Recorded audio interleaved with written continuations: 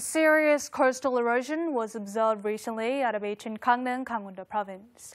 The erosion took place rapidly over a large area, which even college professors specializing in erosion acknowledge as unusual.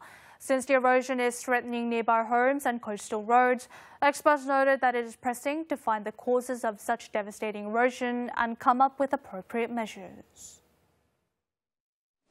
This is a beach popular among tourists in Gangneung. The sand has been washed away to uncover a water pipe buried deep underneath. Even the facilities for tourists have been washed away. There has been coastal erosion every year, but never to this extent.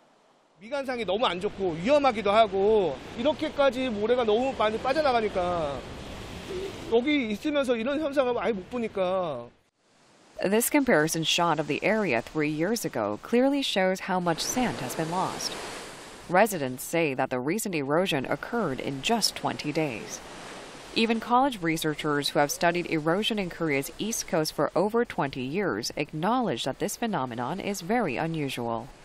The erosion took place very rapidly over a large area, but they could not find a definite cause like artificial interference. 저도 이제 이런 현상을 처음 보거든요. 어떤 기후 변화라든가 어떤 해양의 어떤 물리적 환경이 급격하게 어, 좀 변화하고 있지 않나 싶습니다.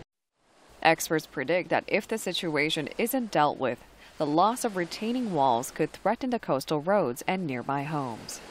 The erosion of the eastern coast of Korea has worsened over the years due to such factors as the rising sea level.